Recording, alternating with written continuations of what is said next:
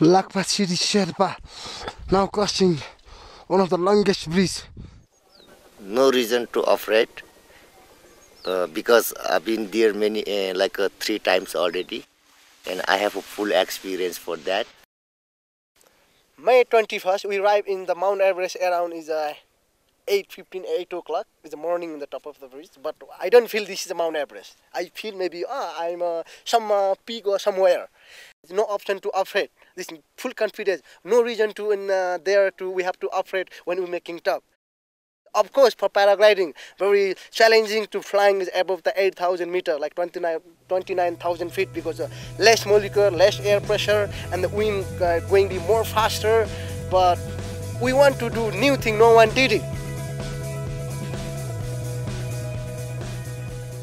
And when finished uh, rapid, and I tell him, you are a very good now. You success is biggest rapid in the world. Now no problem. Then he say, yes, I did this one. Yes, yes.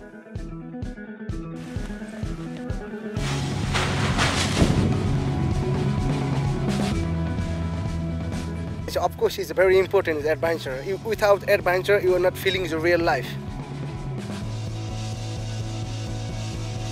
Thank you very much for all the people and all the friends and then all the good thing for uh, who supported us. Thank you, thank you, thank you very much. We don't have any words to say.